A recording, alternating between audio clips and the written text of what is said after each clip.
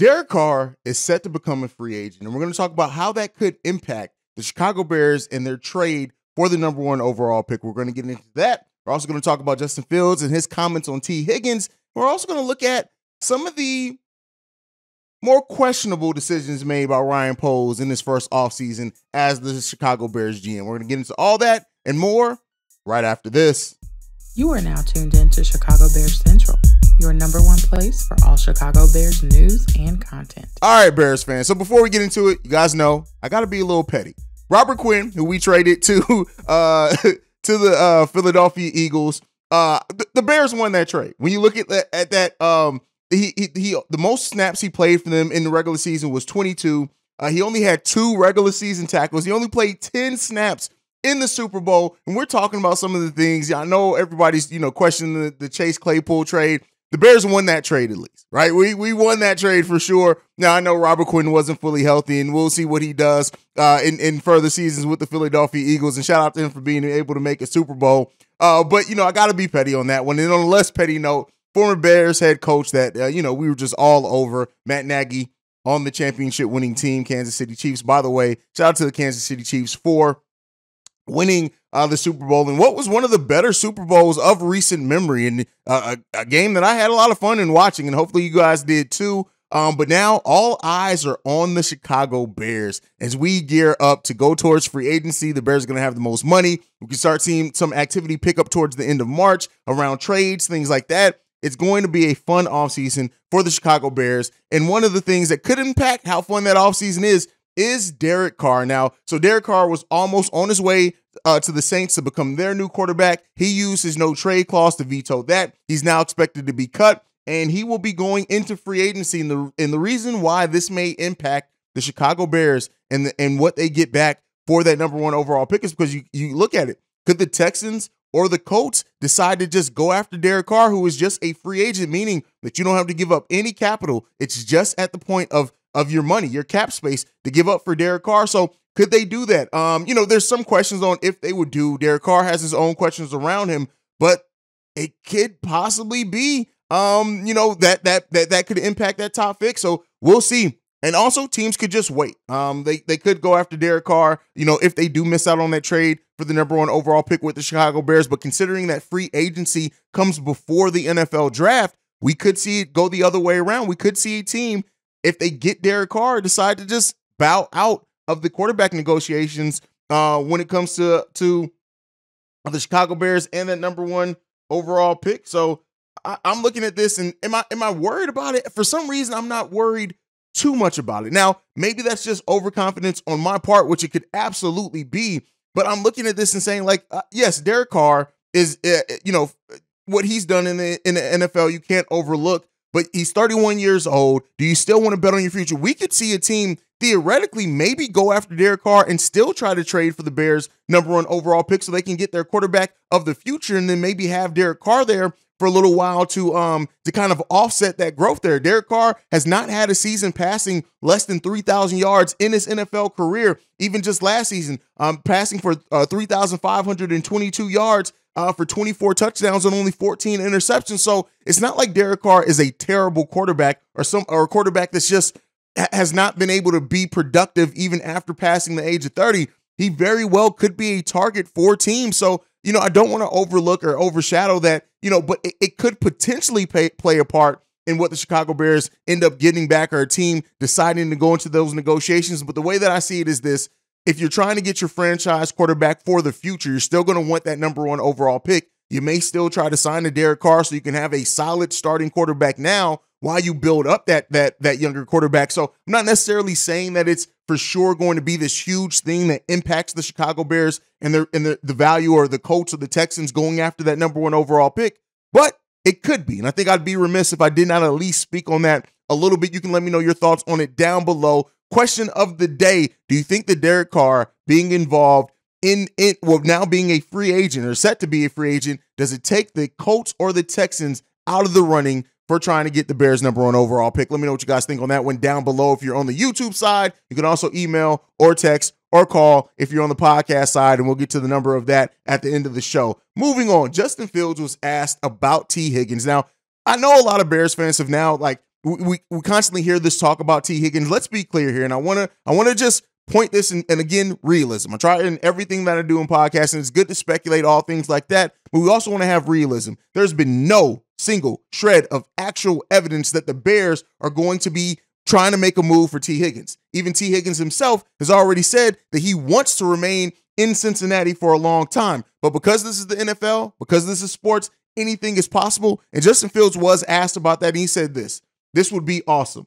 A great player, great size, great receiver, and he's just really smooth. Of course, the things that he can do on the outside with the jump balls, route running, he's an awesome player for sure. And I know and I understand Bears fans, and I've even, like I said, I've done it here. We've done it, C Dub, Bobby. We've all talked about the possibility of adding Tee Higgins to the Chicago Bears team. And I've also told you guys, I, I really do think the Bears aren't going to do much at that wide receiver position. I don't think we're going to make a bunch of big moves at that receiver position. I think we're going to be focused on the trenches, getting that offensive line um better, and then really being able to evaluate not only Justin Fields as a passer, but the receivers we already have under uh, on, on the roster going into next year. So, like I said, anything's possible. So you do want to spend a little time talking about it because if it does happen, at least we got our thoughts on it here. But um, it's good to see that Justin Fields is aware. And, you know, Justin Fields speaking out on things and being asked about things. And over the course of every interview I've seen from him over the Super Bowl uh, uh, time period over the last week, it's just been great. Like he's a clear leader. He clearly has his mindset and he understands football and he wants this Bears team to be successful. And more importantly, he wants to be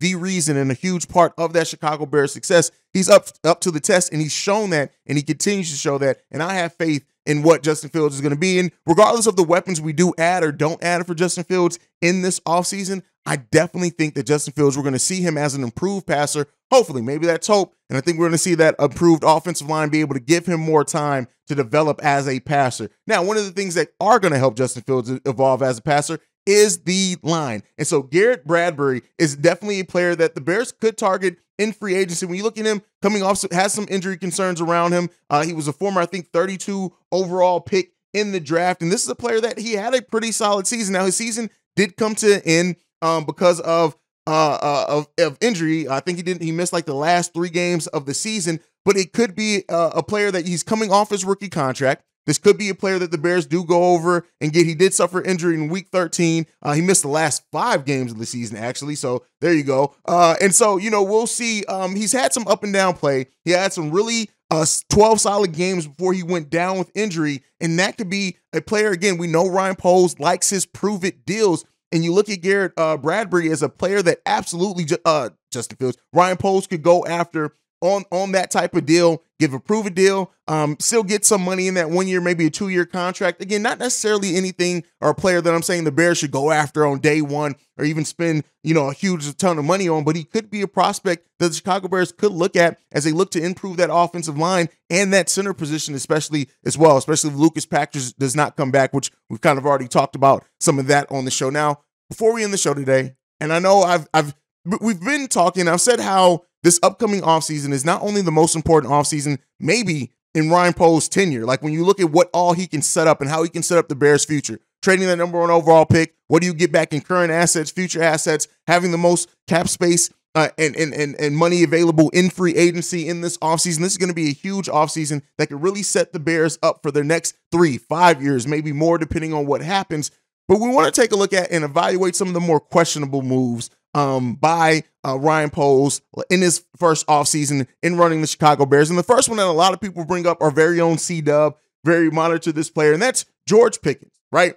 Every time that George Pickens almost makes a big play, you hear about it in Bears Nation. And the Bears could have still had um, Jaquan Brisker. If they could have just drafted George Pickens instead of uh, of of of Ky- uh, Kyler there, Kyler Gordon. But the question is like, I, I, and I think we all expected the Bears to go wide receiver at that pick, right? At least, let me not say speak for everyone. At least me and I think C Dub Bobby, we all kind of looked at wide receiver prospects around that time. And the fact that George Pickens was on the board and we decided to go in a different route, um, it you know it, it raises some questions. And again, some some of these moves are, are questions, not necessarily. Kyler Gordon, especially how he came over in the back half of the season, showed at least the flashes that we want to see. But George Pickens showed flashes as well. Um, over 800 yards receiving this season. Um, and you know, so so it, the question remains around that 21 years old, he could have been somebody that came in, offered a big target, paired with Darnell Mooney. We then wouldn't have to tra- had trade for Chase Claypool. A lot of the woulda, coulda, shoulda there. Let me know. What do you guys think? Do you think that the decision of not, of going with Kyler Gordon